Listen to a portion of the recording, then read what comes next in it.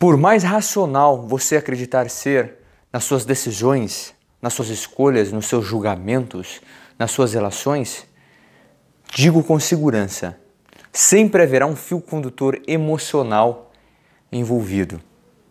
E quando nós falamos do órgão mais complexo que existe dentro do seu organismo, o cérebro humano, ao mesmo tempo que essa complexidade é vista, na minha opinião, podemos enxergar um lado encantador em tentar entender os processos, principalmente para esse vídeo, processos emocionais.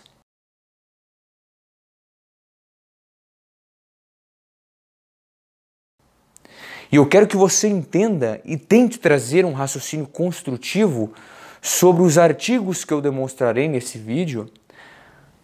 Enfatizo, no sentido construtivo, o que podemos levar de melhor na maneira como entendemos as emoções. Vou trazer informações que podem, que podem provocar um certo desconforto em você. Pois existe uma visão hoje no senso comum e até no campo acadêmico, no campo científico, na academia, na relação dessa visão mais ocidental, de que existem sim emoções universais básicas, expressões é, faciais universais. Não quero dizer que uma está certa, outra está errada, mas que, que existem outros caminhos para o entendimento de como nós, seres humanos, expressamos nossas emoções. E por isso eu preciso de você aí, comentando, argumentando, trazendo um feedback positivo, um feedback negativo no sentido construtivo, né? manter a elegância nas palavras, porque o propósito principal desse canal é levar informações confiáveis, informações científicas que possam ser compartilhadas, que podem ser discutidas. Pois lembre-se, a ciência é movida pelas perguntas e não pelas respostas. Assim já vou provocando você a dar aquele super like e se inscrever no canal. E é claro, compartilhar para aqueles amigos que gostam também, que buscam entender este órgão tão complexo, que buscam entender a neurociência, a psicologia e, é claro, também reflexões e questionamentos da filosofia. Isso é tão verdadeiro que aonde você olhar agora, me assistindo, me ouvindo, tentando decifrar minhas palavras, você encontrará um fio condutor emocional. Seja nas músicas, sejam em entretenimentos, filmes, poemas, citações, memórias, textos, comportamentos. Alguns exemplos que eu posso dar para você, aqui está. Se você nunca ouviu falar dessa música, por favor, ao terminar esse vídeo, imediatamente vá assistir o vídeo que possui no YouTube, tanto que essa imagem eu tirei do YouTube. Música Águas de Março de Elisegine Tom Jobim. Uma música sensacional. Não sei se você já ouviu, o que você acha dessa música? Por que, que eu estou compartilhando? Porque se você não conhece, de alguma maneira ela vai marcar você, seja no sentido positivo ou negativo. Ah, Mateus, não fez efeito algum, mas você já vai conhecê-la. Mateus, nossa, eu vivenciei, escutei muito essa música na minha adolescência, ou quando eu dei o primeiro beijo, quando eu viajava com meu é, atual marido, que era é, namorado, ou minha namorada, que hoje é minha atual esposa. Enfim, essa música é tão forte que sim, em milhares de pessoas, não em algumas pessoas, essa música provoca, tem um poder emocional fantástico, e a música faz isso. Ou você pode não conhecê-la, mas você pode conhecer a estupenda música de Chico Buarque, Construção. Mateus, eu não conheço. Por favor, então, faça-me outro favor. Ao finalizar esse vídeo, digite essa música no YouTube, uma música belíssima, uma qualidade musical extrema. Que para algumas pessoas que estarão assistindo esse vídeo, não sei se é você, deixe seu comentário, enxergarão aqui um forte vínculo emocional. Que esse forte vínculo emocional só foi causado porque em algum momento na sua história, nas suas lembranças, nas suas memórias de longo prazo, no seu passado, algo foi cristalizado e hoje nós sabemos que nos processos emocionais, principalmente relacionados à aprendizagem, se você tem uma forte experiência ou valência emocional vinculado àquela exposição e frequência, a cristalização dessas memórias serão mais duradouras. Ou simplesmente você assistindo pode não conhecer ambas as músicas. Mas você pode ter uma admiração e uma inclinação emocional no encantamento dos contos de Machado. Ou nos belíssimos poemas de Vinícius de Moraes. Agora que cada um desses aspectos, desses fenômenos, sejam eles musicais, literários, existe sim uma emoção envolvida. Veja o poder disso. Que cada um, isso fará sentido no final desse vídeo, quando eu apresentar essa nova perspectiva da neurociência em relação a isso, a essa experiência, essa valência, essa consciência emocional que nós damos. Mas você também pode assistir filmes que provocam esse estado de admiração por algo, por respeito a algum tipo de transtorno mental. Como o Milagre da Sala 7. Se você não assistiu, por favor, assista. Fantástico. E ouso dizer que você pode chorar. Não sei se você chorou, se você chorou, se você já assistiu. Eu me emocionei muito com o filme. Maravilhoso. É claro, isso aqui pode ser representado também em outras músicas que cada um desses fios condutores emocionais vão fornecendo a ideia de que é subjetivo a construção perceptual emocional do mundo de cada um. Como, por exemplo, as músicas de sofrência de Marília Mendonça. Nossa, Matheus, você citando Marília Mendonça, sertanejo, eu odeio sertanejo. Já podemos iniciar um, um sinal de humildade intelectual de respeito em saber que a construção da percepção, eu falarei no final do vídeo, ela é subjetiva, devido à exposição que você teve ao longo do seu desenvolvimento encefálico ou desenvolvimento cerebral.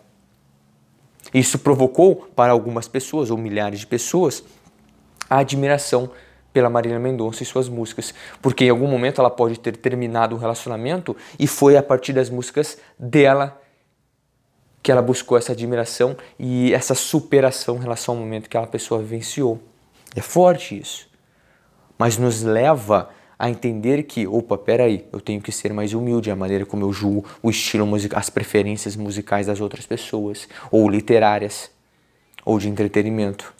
E não paramos por aqui. Gosto muito de Maria Mendonça, eu gosto de dançar, sou apaixonado por sertanejo e pagode e funk. Não sou um dançarino profissional, mas consigo aí enganar bem quando estou com os amigos e amigas, no ambiente ali no churrasco, enfim, quem não gosta. Mas também podemos ter um funk MC Livinho. E você pode já fazer aquela sacada, nossa, Matheus, MC Livinho. Sim, existem pessoas que gostam, eu gosto. Quando estou no churrasco no momento certo, sou, sou muito eclético em relação a isso. Não sei você, deixe aí nos comentários o que você pensa sobre isso. Mas a finalidade, a finalidade a apresentação dessas músicas, desses filmes, desses contos, dessa literatura, é representar que por trás disso existe um fio condutor aí de emoção, um fio emocional. Emoções estão em tudo que você pensa, que você faz. Agora, o que seria uma emoção? Essa fica a provocação, que podemos remeter até no sentido filosófico. Existe um grande debate na literatura e até uma, uma discussão polêmica em relação a como podemos enxergar as emoções. Gosto muito dessa citação de Santo Agostinho, um dos maiores e mais importantes teólogos do, dos primeiros séculos do cristianismo. Em seu livro Confissões, ele diz: Então, o que é uma emoção? Se ninguém me pergunta, eu sei. Entretanto, se eu tenho que explicar para quem perguntou, eu não sei. Veja, a emoção que eu sinto, opa, peraí. Então, se eu tocar o seu ombro, o seu peito, o seu pescoço, você está sentindo isto é uma emoção? Não. O que seria a emoção? Peguei essa definição do que seria uma emoção, do que seria um sentimento, da Associação Americana de Psicologia. Vou trazer alguns momentos, algum um texto para que você possa copiar. Vou deixar as referências dos artigos abaixo aqui na descrição do vídeo, caso você queira aprofundar seus conhecimentos. Todos os, conhec todos os conteúdos abordados aqui possuem embasamento científico, deixarei aqui embaixo os artigos citados. Mas segundo a APA, vamos começar pelos sentimentos. São subjetivos, avaliativos e independentes das sensações, pensamentos ou imagens que os evocam. São inevitavelmente avaliados como agradáveis ou desagradáveis, mas podem ter qualidades intrapsíquicas mais específicas, de modo que, por exemplo, o tom afetivo do medo é experimentado como diferente do da raiva. A pessoa cria isso, cada um de nós criaremos isso. Ou cada um de nós criará, na verdade. A característica central que diferencia o sentimento de experiências intrapsíquicas cognitivas, sensoriais ou perceptivas é o elo do afeto à avaliação. Os sentimentos diferem das emoções por serem puramente mentais. Olha que interessante. Enquanto as emoções são projetadas para se envolver com o mundo. Essa é uma definição breve do que seria sentimentos. Agora, o que seria as emoções? Segundo a APA novamente, um padrão de reação complexo que envolve elementos experienciais, como vimos ali envolvidos com os sentimentos também, comportamentais e fisiológicas, aqui é um ponto que chamará atenção, pelo qual um indivíduo tenta lidar com um assunto ou evento pessoalmente significativo. Por isso eu trouxe os exemplos das, dos diferentes estilos musicais, literários, de filmes. A qualidade específica da emoção, por exemplo, medo ou vergonha, é determinada pelo significado específico do evento. Por exemplo, se o significado envolve ameaça, é provável que o medo seja gerado. Se o significado envolve desaprovação de outro ou dos outros, provavelmente será gerada a vergonha. A emoção tipicamente envolve sentimento, mas difere do sentimento por ter um envolvimento explícito ou implícito com o mundo. É claro, eu posso pegar uma definição de uma das maiores referências que temos na graduação, na pós-graduação de psicologia, David Mears, onde ele diz que as emoções humanas envolvem excitações fisiológicas, comportamentos expressivos e experiência consciente. É uma visão um pouco mais global dessa experiência, expressão e experiência emocional. Isso na perspectiva, vamos dizer aí, da psicologia. Agora, no ponto de vista, no ponto de vista neurocientífico, a coisa é muito mais direta, é muito mais específica. E como neurocientista e estudioso da mente, das emoções, do comportamento, gosto muito dessas duas perspectivas que aqui trago a de Antônio Damasio, estupendo neurocientista, ainda vivo, português. Ele diz: Podemos considerar as emoções como sendo reações no organismo que desencadeiam uma série de alterações físico-químicas específicas. Ou seja, do ponto de vista neurocientífico, é muito mais direcionado à reação fisiológica, às expressões físico-químicas que o seu corpo possui. E não especificamente uma coisa mais, uma visão mais ampla. Ou seja, a partir do momento que eu tomo consciência disso e construo uma percepção emocional, cognitiva emocional em relação a isso, que aí, na visão neurocientífica, estamos falando de sentimentos. Por exemplo, se você compartilha comigo, Mateus, eu gosto de caminhar, fazer trilhas, e você me convida. Mateus, vamos fazer uma trilha no meio da mata? Eu, mais um colega, uma, uma amiga, um amigo. Falei, vamos. Você sabe guiar? Sei.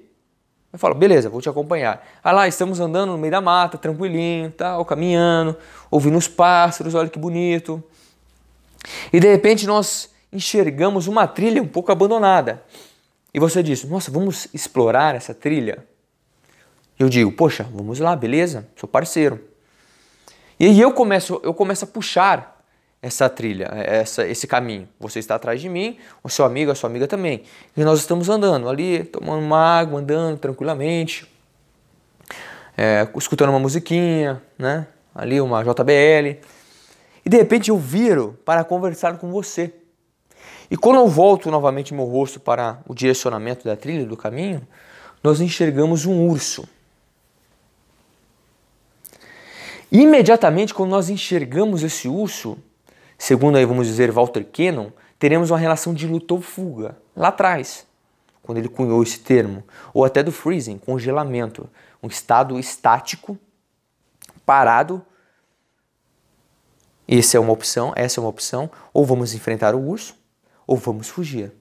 Porém, as reações fisiológicas que estão acontecendo naquele momento, imediatamente naquele momento, consideramos emoções, como suas mãos estarão suando frias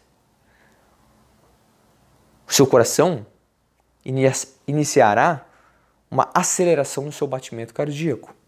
Suas pupilas dilatarão. Nos seus pulmões irá iniciar, em seus pulmões iniciará um processo de bronquiodilatação para enviar mais oxigênio para os grandes músculos. Enfim, especificamente essas respostas fisiológicas acontecerão devido a ordens, vamos dizer assim, de regiões subcorticais. Ou seja, se pegarmos o neocórtex, a camada mais desenvolvida na evolução encefálica ou cerebral, essas regiões é, subcorticais, como no diencéfalo, especificamente o hipotálamo, juntamente em resposta junto com a com a glândula pituitária vão orquestrar respostas fisiológicas, como a liberação daí de cortisol, adrenalina, e também o acionamento de um conjunto, inúmeros conjuntos, vamos dizer assim, de, é, de células neurais, como os neurônios, orquestrados essas respostas aqui, regiões específicas do tronco encefálico, como o mesencéfalo, a ponte e o bulbo. Especificamente, por exemplo, esse conjunto chamado de SARA, um sistema, sistema ativador reticular ascendente, o SARA, que dentre vários, várias funções, uma delas é manter você num estado é, de vigília, que é responsável pela manutenção do ciclo sono-vigília. Porém, Dentro desse sistema do SARA, temos a liberação de neurotransmissores específicos que eu gosto de chamar que é uma mistura. Pegue um papel e caneta para você anotar. Que é uma mistura de espanhol com uma dose de adjetivo possessivo em inglês. Meu Deus, Matheus, o que, significa isso? Né? Veja que interessante. Eu gosto de fazer analogias para que os alunos, no caso aí, você entenda o poder disso. O que, que significa? Espanhol, no sentido de é, não faz, ou seja, no hace. N-O-A-C-E, sem o H, tá? Não é espanhol literalmente, mas é no hace. No hace is doce. O que, que significa no hace nis doce? Copia aí, ó. No hace, N-O-A-C-E, risdoce, ou risdoze. Seria H-I-S-D-O-E, D-O-S-E, perdão que, que significa? O noace, que é o espanhol, vamos dizer assim, o NO significa a resposta fisiológica ou liberação de noradrenalina. Olha que interessante, NO.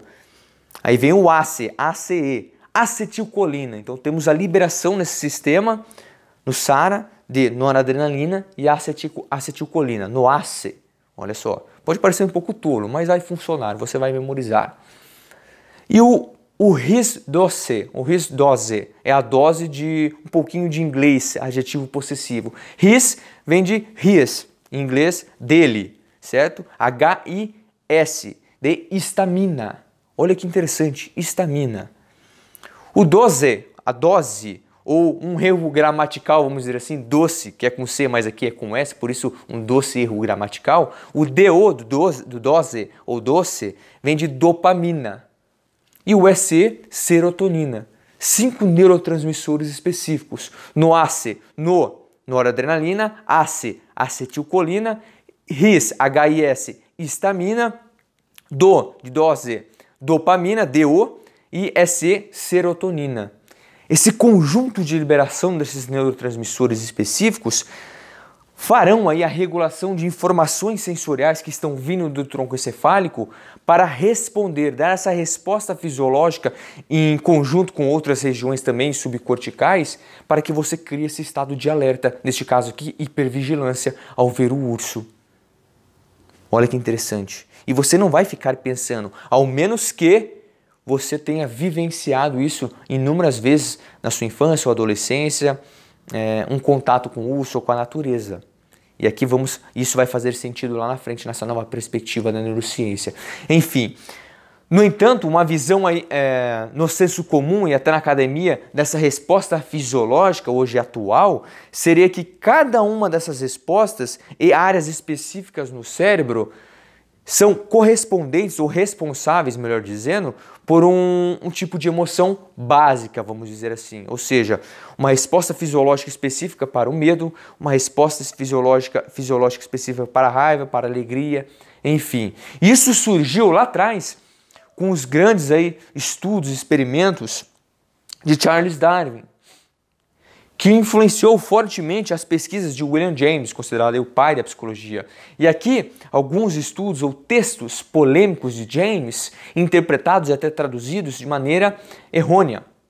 Por quê? Alguns dizem que ele, ele traz também esse pensamento de que existem respostas fisiológicas específicas para cada emoção básica específica. Mas não, o que ele quer dizer em alguns textos, e isso a Lisa Feldman, essa estupenda neurocientista e psicóloga, traz, e eu citarei ela, ela que traz essa perspectiva da nova neurociência, diz que James estava dizendo que, por exemplo, numa situação de medo, você encontrar um urso ou uma cobra, um cachorro, e você tem medo de cachorro, de urso, de cobra, ou vivenciar uma forte turbulência no avião, ambos os momentos você sentirá medo. No entanto, aquela experiência de medo que você está sentindo será única, terá uma expressão de uma frequência, em uma, uma valência emocional, vamos dizer assim, negativa para aquele momento que você representou como medo. Mas não significa que na outra expressão emocional de medo você terá as mesmas respostas na mesma intensidade que você teve naquele momento que você experienciou lá a visão com um urso, ou um contato com uma cobra ou com um cachorro. É interessante trazer essas curiosidades porque as pessoas não compartilham isso. Que é claro, isso influenciou, esses trabalhos influenciaram os trabalhos de Freud, o pai da psicanálise, que também influenciou de uma maneira mais, vamos dizer, contemporânea, Paul Ekman e, é claro, o grande neurocientista Antônio Damasio. Eles defendem essa ideia de que existem é, emoções básicas, e no caso aqui, os grandes trabalhos de Paul Ekman, que nós seres humanos possuímos expressões, microexpressões faciais universais. Que uma das grandes críticas, uma das grandes pessoas, um dos grandes cientistas aí que critica essa visão é a própria Elisa Feldman. O seu, seu grande grupo de pesquisadores que trabalham em conjunto com ela criticam os trabalhos. Eu vou demonstrar para você o porquê das críticas, que é essa nova ciência das emoções. E aqui podemos ver um exemplo das emoções básicas. Se você enxergar aqui, você pode interpretar a, as faces desta mulher com um olhar aqui, é claro, com as keywords que eles chamam, ou seja, as palavras-chave em relação a essa expressão no sentido das emoções básicas. E isso começou a despertar um interesse na academia, no campo científico, devido à publicação desse artigo do Paul Ekman, em 1983, onde que ele traz a ideia de que o sistema nervoso autônomo possui sim respostas distintas em relação a cada expressão emocional específica, ou no caso, expressão básica, é, emoção básica. E não só respostas fisiológicas do sistema nervoso autônomo, mas também, como demonstra esse artigo, de, essa meta-análise, publicado em 2010, que, que é claro, existem áreas específicas no cérebro que correspondem a emoções básicas é, específicas. Está aqui. Existem sim artigos científicos. Por isso essa visão ocidental muito forte em relação Sim, existem é, emoções básicas e microexpressões, e as microexpressões são universais. Agora existe sim um outro lado também, que é muito pouco trabalhado, na academia e também no senso comum. E esse é meu lado provocativo como neurocientista e professor. Instigar você nisso, a pensar nesse outro lado. Será mesmo que são? Nós refletimos isso, esses estudos, em desenhos, em séries, no cinema, em músicas. Como vemos aqui, o ratinho, né? Mickey, uma expressão humana, um sorriso, pássaros, gatos, ratos, pinguins, que representam a expressão humana nos rostos, na face.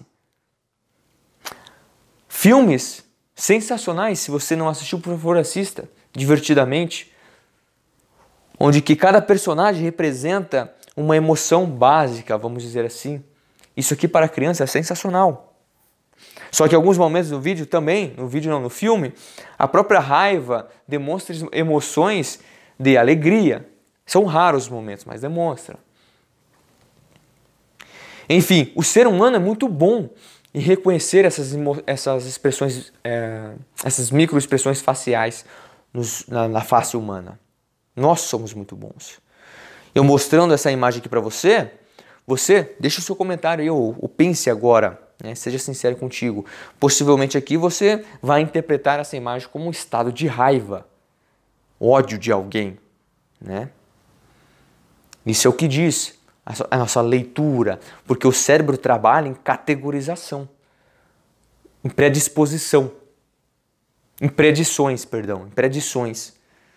E isso aqui leva você ao julgamento imediatamente, uma, uma, uma predição no sentido que, opa, ela está expressando raiva. Será? Não é isso.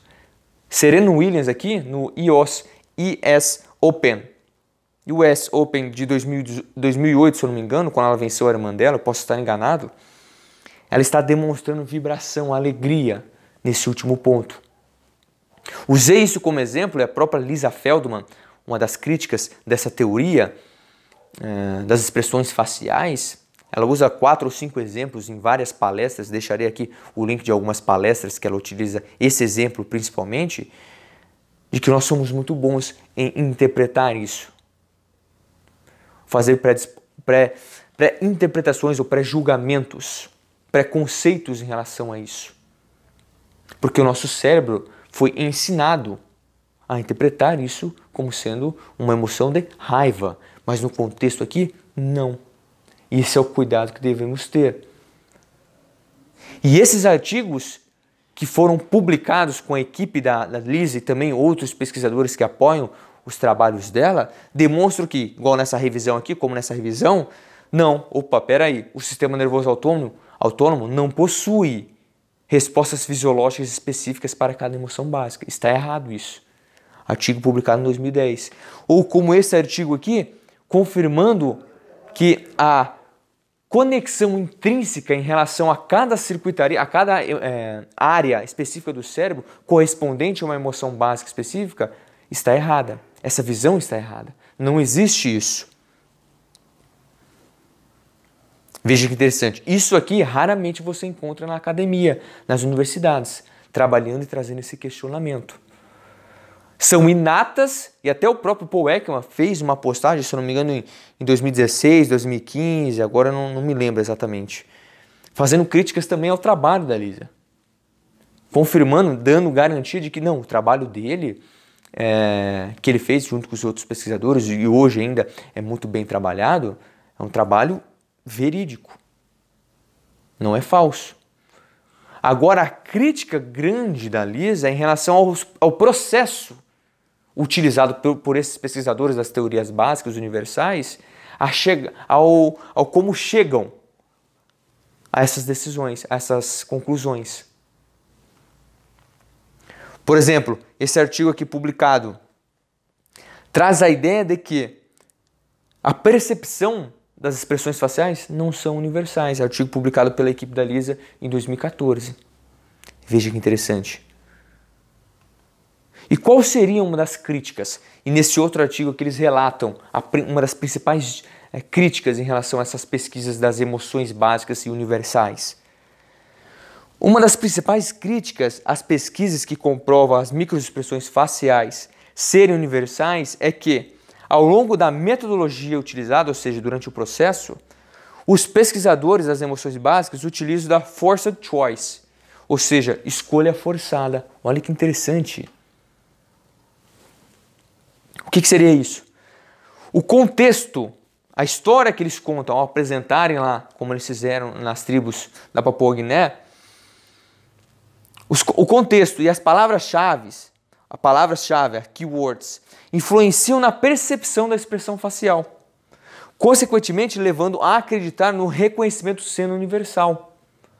Mas ele, na pesquisa, utilizou de um procedimento que chamamos na psicologia ou na neurociência comportamental de priming, ou seja, estímulos apresentados anteriormente a um determinado resultado, que você tomou uma decisão, que foram inconscientemente levados a influenciar você a tomar aquela determinada escolha. Neste caso aqui, a identificar uma expressão. Opa, peraí, nesse sentido, elas não são inatas. Você aprendeu, você foi influenciado, você teve uma inclinação de acreditar que aquilo é o que é, porque você teve uma influência. E a diz: se fossem inatas, por exemplo, você não precisaria passar por um processo de treinamento, como a equipe do, do próprio Ekman faz. E aí o Ekman mudou um pouco o conceito. Não é uma ciência, mas técnicas para a interpretação da expressão facial. Esses detalhes são importantíssimos para julgarmos esse tipo de ciência, o que é uma ciência ou não. E aqui temos as keywords, certo? Eles apresentam a face, um contexto, vamos imaginar sem isso aqui. Conta uma história que leva a pessoa a interpretar aquilo como uma situação triste, e aí apresentam a palavra tristeza, e aí sim a pessoa tem um julgamento daquela cena ou daquela expressão como sendo, ah, ela está expressando aí tristeza. Essa é uma das críticas que eles fazem. Ou seja, existe ali um prime em relação a isso, uma interferência na pesquisa. Nesse sentido, quando nós avaliamos a expressão facial de uma pessoa, e isso está sendo muito bem é, nos últimas, aí, na, na, nas últimas décadas, dos 10 a 20 anos atrás, muito novo isso. Na psiquiatria, por exemplo, existe a depressão sorridente. As pessoas acreditam que uma pessoa em depressão não pode sorrir. Mas existem casos, sim, de pessoas que podem passar a semana inteira sorrindo, mas por dentro estarem sofrendo. A exposição da face, o que representa na parte externa, não significa o que ela sente de maneira interna. Isso aqui, ó, representa muito bem o que estamos discutindo, que eu estou demonstrando para você. Por exemplo, seja qual for o que você seja qual for o momento que você acreditar que pensa que sabe como a outra pessoa está se sentindo, sua confiança em acreditar nisso não tem relação alguma com o que realmente está acontecendo. Aquela nossa inclinação, inclinação de ver o nosso colega de trabalho, nosso pai, nossa mãe, nosso irmão, nosso namorado, nossa namorada, com uma expressão um pouco fechada, sobrancelhas de encontro uma à outra, olhando para algo, você pensa, hum, ela está triste ou com raiva de algo. Ou simplesmente ela está prestando atenção em algo. Ela está focada. E aí você faz o quê? O cérebro trabalha em pré-julgamentos, preconceitos. E isso vai interferir em como você avalia a situação. E é aqui que eles criticam isso. O que está acontecendo de você acreditar e pensar que sabe o que o outro está passando, nada mais é do que eles chamam de efeito, um momento de affective realism, onde que baseado nas suas experiências passadas, de maneira subjetiva, numa avaliação sua, pessoal, você acredita que o outro está vivenciando aquela mesma emoção, aquela mesma expressão. Isso já pode nos dar, fornecer uma ideia valiosa de quando trabalhamos com gestão, nos relacionamos em tentar entender as ideias dos outros ou o que o outro está sentindo durante o trabalho. Se colocar no lugar do outro. Opa, peraí, será que essas palavras que eu pronunciei para a Fernanda, para a Cláudia, para o Alan, para o Carlos, o Walter, essas palavras não magoaram eles? Porque na minha perspectiva, não, mas é a minha perspectiva. Eu estou construindo a minha realidade envolvida em afetos que eu vivenciei. E é isso aqui que eles criticam, que eles demonstram nesses artigos. Essa é a grande pesquisadora. Está, está trazendo essa, visão, nova visão, vamos dizer assim, da neurociência. Nova no sentido de que hoje, atualmente, é mais aceito ou muito, ou muito mais falado as, como expressões faciais universais ou as emoções básicas. Mas será mesmo que elas são básicas? E a Elisa vem com uma nova teoria, teoria das emoções construídas. Elas não são inatas, são aprendidas. O seu cérebro vai, modulando essa resposta fisiológica em relação a cada momento e não a um momento específico. Esse aqui é o livro dela, recomendo fortemente o livro dela, How Emotions Are Made. Não existe tradução ainda até o momento que eu gravo esse vídeo, não tem tradução para o português. Segundo a neurociência moderna, existem quatro mitos em relação às emoções. mito 1. Um, as emoções são exibidas nos exibidas no rosto com expressões que reconhecemos. Isso é um mito. Na verdade, o fato é que um rosto não fala por si só. Uma mesma face pode representar diferentes emoções. Isso aqui é construído o quê? De maneira subjetiva. O seu julgamento em relação a acreditar o que o outro pode estar sentindo nada mais é do que aquele affective realism, que é muito bem trabalhado nesse estudo, eh, esse novo estudo do, do campo das neurociências das emoções. Mito 2. Cada emoção tem um padrão único de mudanças físicas no corpo, como aqueles artigos que eu demonstrei que descomprova essa ideia. O fato é que mudanças físicas em seu corpo não têm significado emocional inato. É o seu cérebro que vai construindo ao longo do seu processo de desenvolvimento cognitivo e emocional. O seu cérebro faz mudanças corporais significativas como uma emoção. Mito 3, e esse aqui é muito forte. Ela traz um capítulo, dois capítulos, se eu não me engano, no livro dela, falando, fazendo essa, essa referência na avaliação do sistema judicial nos Estados Unidos, de como os juízes interpretam um assassinato realizado, por exemplo, por uma mulher e um assassinato realizado por um homem, cometido por um homem ou por uma mulher. Como possuímos estereótipos em julgar uma relação de um comportamento vinculando ele à personalidade e o outro vinculando a simplesmente um comportamento no dia a dia. Eu vou demonstrar isso para vocês. O fato é que em testes clínicos, em média, homens e mulheres são igualmente emocionais. E um dos artigos que ela publicou, deixarei aqui o artigo na descrição do vídeo, em seu laboratório, ela juntou aí dois grupos, grupos de mulheres, um grupo de mulheres e um grupo de homens. E ela deu questionários para as mulheres e para os homens relatarem como é enxergado, como é visto a resposta emocional das mulheres. E o curioso é que as próprias mulheres tendem a descrever elas mesmas como sendo mais emocionais do que os homens. E os questionários respondidos pelos homens também concordam com esse pensamento. Questionários, questionários avaliativos. No entanto, quanto, quando os participantes, sejam homens ou mulheres, foram para a segunda fase, onde que eles teriam que responder através de um aplicativo é, como foi o dia deles nessa relação de expressão emocional, estados sentimentais, em média eles relatam a mesma quantidade de emoção na vida cotidiana. Olha que interessante. E não para por aí. Isso pode ser, além dessa expressão fisiológica emocional, essa crença, esse mito de acreditar que as mulheres são mais emocionais, existe uma inclinação nossa de julgar a partir da expressão facial do que foi aprendido, o que a sociedade nos ensina, o senso comum é ensinado, vamos dizer assim. Isso é claro, é um processo gradativo que leva anos, gerações que vão passando para gerações e nós vamos aprendendo dessa maneira, que aos poucos também vamos lapidando e vamos, e vamos quebrando.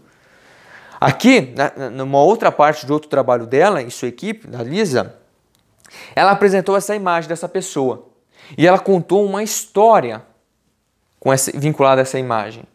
Ela disse que essa pessoa aqui discutiu com um colega de trabalho.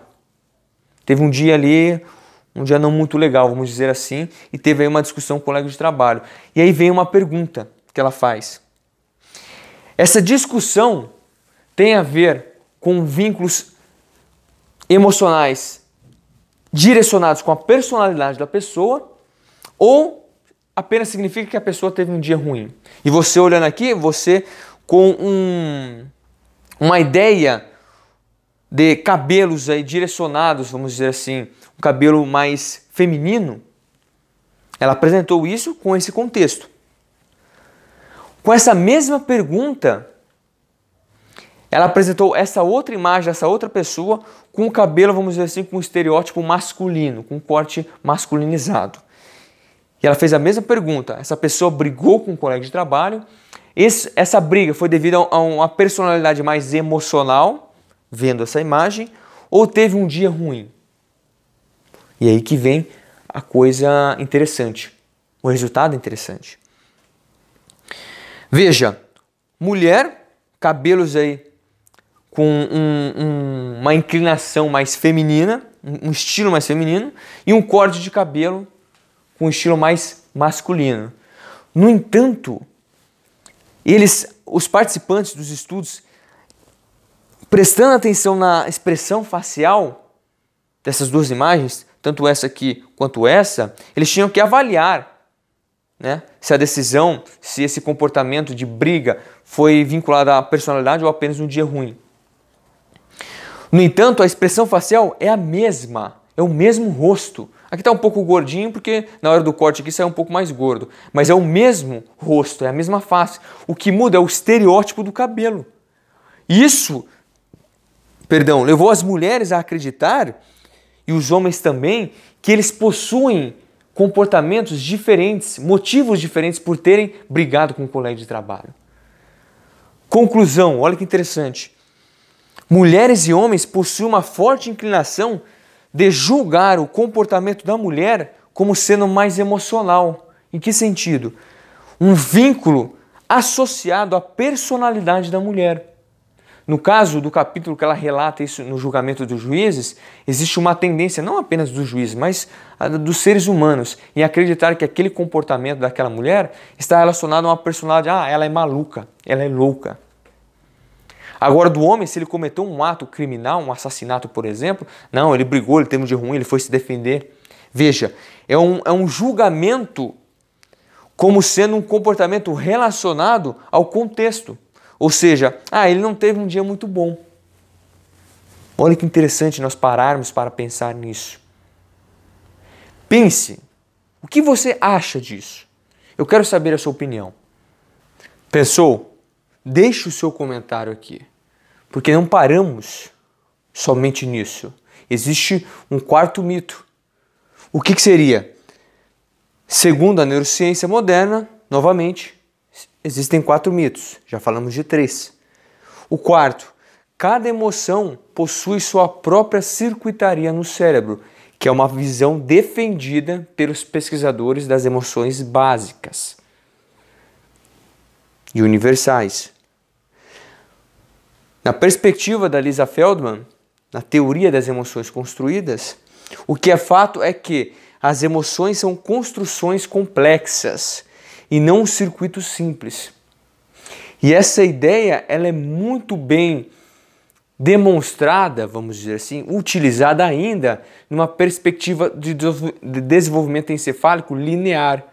Um exemplo seria a teoria do cérebro trino muitas vezes utilizada. Vou falar sobre ela aqui rapidamente. No entanto, nesse sentido de uma circuitaria, região específica responsável por uma expressão fisiológica emocional, podemos citar como exemplo a amígdala, responsável pela expressão do medo. Porém, como diz aqui o, o pai, vamos dizer assim, o pesquisador em relação aos, gru aos grupos amidaloides, ou seja, você possui duas amígdalas que elas são compostas por núcleos, chamados de núcleos, chamados de núcleos amidaloides. Ledoux, em um artigo publicado nesse blog aqui, um, um blog que eu recomendo que você acompanhe, Psychology Today, sensacional, inúmeros pesquisadores do mundo inteiro relatam e descrevem em seus artigos uma linguagem acessível, temas, assuntos que contornam a sua área de pesquisa. E aqui, nesse artigo publicado por ele em 2015, ele diz que a amígdala não é o centro do medo. Vou repetir, a amígdala não é o centro do medo. Em uma tradução livre desse, desse artigo que ele publicou aqui, nesse blog, ele diz: Hoje, pensamos em funções como produtos de sistemas e não de áreas. A amígdala, por exemplo, contribui para a detecção de ameaças porque faz parte de um sistema de detecção de ameaças. E apenas porque a amígdala contribui para a detecção de ameaças, isso não significa que a detecção dessas ameaças, ficou um pouquinho repetitivo, né? Seja a única função para a qual ela contribui. Os neurônios da amígdala, por exemplo, também são componentes de sistemas que processam o significado de estímulos relacionados ao comer, beber e drogas, e drogas que podem causar dependência. Um exemplo que eu posso compartilhar aqui de uma revisão de literatura, de um artigo de revisão, é este aqui, uma meta-análise, onde que eles buscaram entender as principais teorias relacionadas aos artigos, utilizando aí, por exemplo, ressonância magnética funcional, mapeamento cerebral, tanto para áreas corticais quanto subcorticais, entender qual seria a mais, vamos dizer assim, aceitável, vamos dizer certo ou errado, mas a mais aceitável nessa perspectiva nova da neurociência das emoções. E eles destacam, por exemplo, essa teoria das emoções básicas universais como existindo uma área específica no cérebro responsável, como eu já disse, por uma expressão emocional fisiológica, que é chamado de hipótese localizacionista da, de correspondência ou da correspondência cérebro-emoção. E aqui no próprio artigo, que deixarei na descrição aqui desse vídeo, eles trazem aqui nessa revisão desses artigos que utilizaram essa teoria, essa hipótese, como no medo, a amígdala sendo o centro do medo, em amarelo aqui, ó. A repulsa, nesses artigos relatam que a ínsula, que está em verde, em verde aqui, não sei se está visível aí na, no vídeo. A raiva, como o córtex frontal em ferrugem, aqui é o vinho, não sei. E a tristeza no córtex cingulado anterior. Segundo essa, essas, essa hipótese localizacionista, existe sim regiões específicas responsáveis por uma expressão emocional específica. E a mais aí utilizada, a rockstar, como a Lisa, a própria Lisa chama, é a amígdala.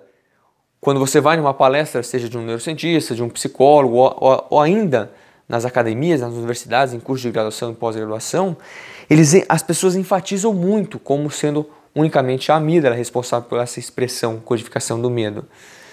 E nesse artigo, eles buscaram entender essa proporção de estudos que relatam o um aumento na ativação da amígdala em relação com emoções, expressões emocionais distintas. No caso aqui, no medo, foi encontrado uma relação no aumento da ativação dos grupos amidaloides em 30% dos artigos. É um número interessante, 30%. Mas aí a coisa fica mais interessante ainda. E aqui que fica questionador e crítico, uma visão construtiva em relação a essa nova neurociência das emoções. Veja, ela também é encontrada em ativação até mais na raiva. Olha na repulsa, na alegria, até mais que o medo, na tristeza. Ou seja, ela não é o circuito responsável pela expressão emocional do medo, mas sim de diversas outras emoções. Hoje entendemos com a amígdala, os grupos amidaloides, como um centro em resposta a mensagens aferentes e eferentes, ascendentes ou eferentes, ou seja, mensagens que estão chegando dos receptores sensoriais da periferia, vão passar por um filtro sensorial que, primeiramente, é claro, na, chegará na medula, da medula para o tronco encefálico, o tronco encefálico para o tálamo, o tálamo vai distribuir nas áreas, nas regiões primárias, para ir acontecendo a lapidação sensorial, ou seja, deixar esses estímulos mais limpos para a interpretação e construção da percepção. E aqui ó, podemos ver que ela faz parte sim da interpretação de várias emoções e não apenas do medo. Agora, a visão construtiva que estamos tendo nessa nova perspectiva da neurociência das emoções é a hipótese construcionista psicológica de correspondência emoção e cérebro, não cérebro-emoção. numa linguagem mais, vamos dizer assim, fácil de entender, estão chamando isso de córtices límbicos e não sistema límbico responsável pela expressão emocional. Porque você possui áreas corticais, aqui no caso do lobo frontal, com áreas subcorticais trabalhando em conjunto. Porque o, o córtex cerebral ele é formado, essa pequena lâmina, que é uma lâmina muito fina, por seis camadas onde que dentro dessas camadas corticais existem três tipos de neurônios que vão construir uma via, vamos dizer assim, de mão dupla, difusa em como essas informações vêm e vão para ter uma resposta à expressão emocional. Então é muito complexo, não é simples. Nesse sentido, temos que falar do sistema límbico. Porque, dependendo da literatura, você pode encontrar regiões específicas que fazem parte ou não do sistema límbico, que trabalhando em conjunto com outras áreas, como regiões corticais, vão construir tanto a expressão quanto a experiência emocional da situação. Hoje, essas são as áreas mais aceitas, isso pode variar dependendo da literatura que você encontrar. O giro do símbolo, giro para hipocampal, hipocampo, área do septo, amígdala, parte do hipotálamo, núcleos anteriores do tálamo, enfim, isso pode variar de literatura para literatura. E é claro, não podemos falar, é, não podemos deixar de falar de Paul MacLean, que destacou a importância do hipotálamo para a expressão emocional e do córtex cerebral para a experiência emocional. Em 52, MacLean substituiu o termo lobo límbico, que antes disso que, que no, lobo limpo tínhamos também o circuito de papéis, aí foi se desenvolvendo, que chegou aí, cunhado por MacLean, sistema límbico. Ele também retomou e ampliou a teoria de papéis, acrescentando as estruturas pertencentes ao circuito de papéis, regiões como as amígdalas, o córtex associativo e o córtex pré-frontal. E é claro, hoje muito bem ainda falado, vamos dizer assim, compartilhado em palestras, como eu já disse aqui para você, a teoria do cérebro trino, onde que traz essa perspectiva, e eu já vi isso, hein? Professores, neurocientistas, psicólogos, principalmente quando trabalha quando estão trabalhando com, por exemplo, o comportamento do consumidor, anúncios do tipo: você precisa vender para o sistema límbico da pessoa, para o seu consumidor.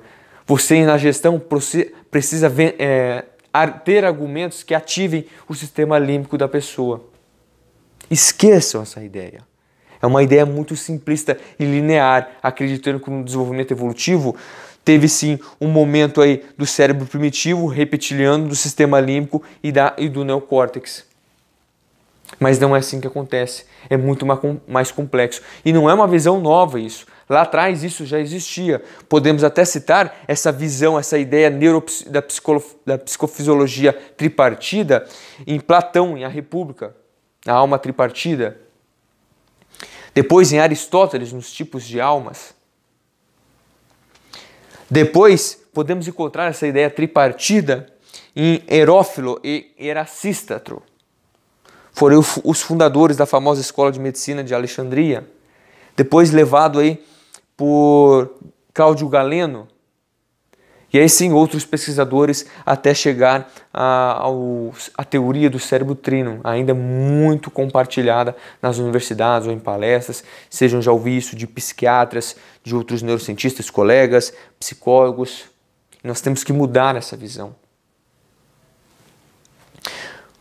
Em que sentido, Mateus? Veja, existem três tipos de neurônios no córtex cerebral Aqui é uma ampliação, vamos dizer assim, mais didática dessa lâmina fina que é o neocórtex, para que vocês possam enxergar essas seis camadas e onde esses neurônios se localizam. É claro, não é tão bonitinha assim essa divisão, tá? Ela é mais difusa. Aqui é no sentido didático. Enfim, esse, esses neurônios distribuem-se em camadas ou lâminas ortogonais, perpendiculares à superfície cortical. Conforme os tipos predominantes de neurônios e de laminação, a superfície cerebral pode ser subdividida em diversas áreas, um mapa cortical. E hoje, o mapa cortical mais utilizado é o de Brodmann, que identifica mais de 50 diferentes áreas citoarquitetônicas e que não respeita os limites de divisão macroscópica. Olha que interessante, não é tão simples.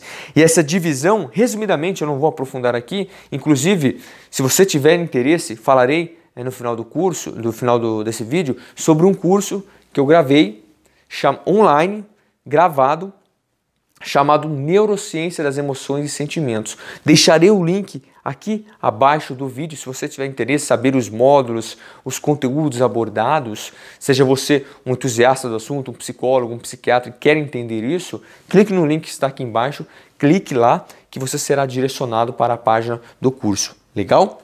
Voltando aqui ao vídeo, essa aqui ó, seriam as áreas que, que estão construindo essa perspectiva da divisão dessas áreas, é, desse mapa cortical, que vão possibilitar essa divisão de área motor e áreas sensoriais primárias, áreas de associação unimodal, áreas de associação heteromodal, áreas paralímbicas e áreas límbicas.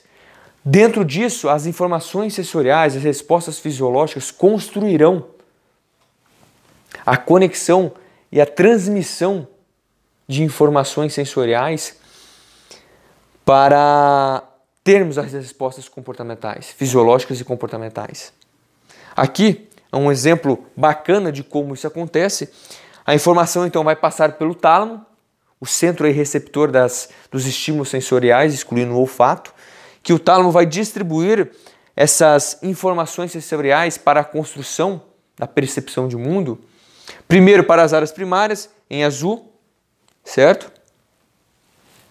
Áreas de associação unimodal, em amarelinho. Áreas de associação heteromodal, em rosa, aqui o roxo. Áreas paralímbicas, em verde. E áreas límbicas. E como eu disse, são conexões difusas. Não existe um caminho linear. Na evolução de cada espécie, o desenvolvimento encefálico aconteceu de maneira, de maneira arbórea e não linear. um esquema geral de como isso acontece. Temos aí o meio externo, a informação chegando através das vias sensoriais, que primeiras áreas que primeiras áreas primárias farão esse filtro e aí enviarão ah, o restante das mensagens, das informações para essa, uma espécie de lapidação das, da, dos estímulos relevantes ou não. E é claro, aqui está de uma maneira bonitinha, né? mas é difusa. Tanto informações que estão indo quanto informações que estão voltando. De fato, a principal, as duas principais, os dois principais motivos de o um sistema nervoso funcionar seriam o comportamento e a homeostase. Tudo que acontece em volta disso, sono, memória, atenção, as respostas fisiológicas, resiliência, estresse, cortisol, enfim, as respostas fisiológicas vão direcionar para duas ações, dois fenômenos, o comportamento e a homeostase.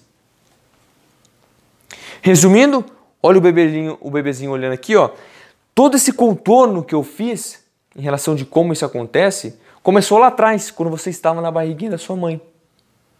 E a partir de lá, com o envolvimento com seus familiares, a criação com seu pai, com sua mãe, ou com outro, outros cuidadores, seu avô, a sua avó, seu tio, a sua tia, os seus priminhos, as suas priminhas, o seu irmão, a sua irmã, enfim, os amiguinhos do bairro, na escolinha, no ensino médio, na faculdade, no seu ambiente de trabalho, tudo isso está sendo modulado e podemos mas em outro vídeo entrar no assunto de plasticidade cerebral, é claro, existem vários tipos de plasticidade.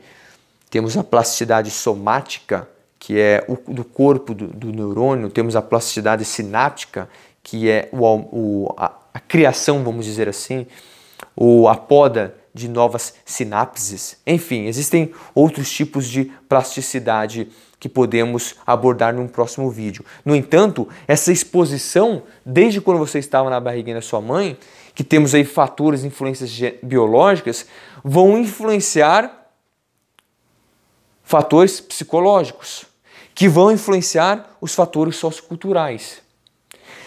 E aqui está gostosinho, está bonitinho, como está explicado aqui, certo? Fatores biológicos, psicológicos e socioculturais influenciarão, influenciarão a construção da sua percepção, que podemos voltar lá atrás no segundo slide, quando eu compartilhei com vocês aquelas, aqueles estilos musicais, literários ou de filmes. E podemos começar a entender do porquê cada um tem uma experiência, um gosto diferente. Pode ser similar, mas jamais será idêntico. Uma construção de mundo.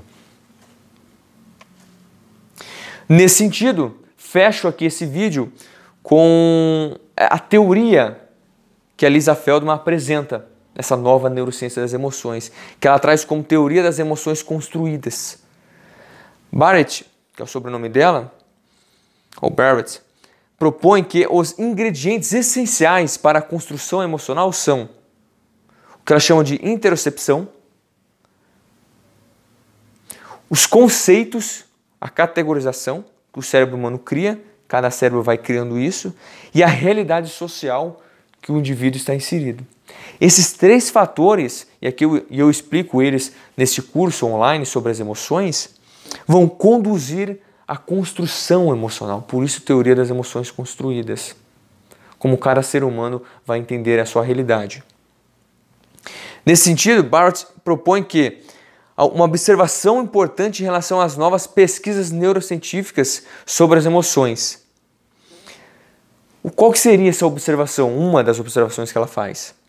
A pergunta que devemos fazer não é, por exemplo, quais neurônios desencadeiam o medo, mas sim como o cérebro cria um instante de medo.